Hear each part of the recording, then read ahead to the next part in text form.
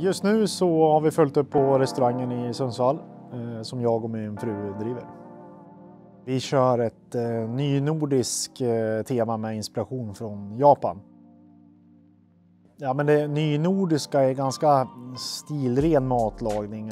För mig är det att man, man ser vad man äter, man gör inte så mycket, man krånglar inte till det så mycket utan man låter råvarorna få tala för sig själv. Och det går väldigt fint ihop med den japanska matlagningen. Ja, säsongen styr ju hur vi lagar mat på restaurangen och vad, vilka råvaror vi använder. Vi har ju ganska mycket som vi har picklat och syltat och tagit hand om under, ja, under sensommaren och hösten. Så vi har byggt upp ett litet lager. Och det är de råvarorna vi jobbar mycket med nu då, som smakbrytare i, i rätterna.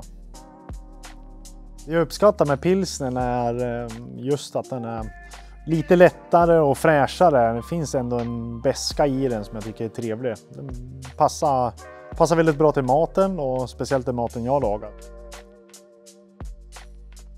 Eh, jag ställde upp ganska många år i eh, Årets Kock. Jag sökte in första gången 2012. De två första åren jag ställde upp så var det mer för att jag ville lära mig mer.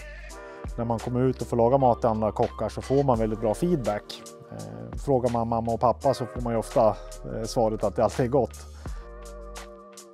Mm, Hamnade på pallen ja, tre gånger totalt och det var två silvermedaljer och så var det guldet till slut. Jag kände att trägen vinner, det är bara att hamra på tills att eh, guldpengen kommer hem.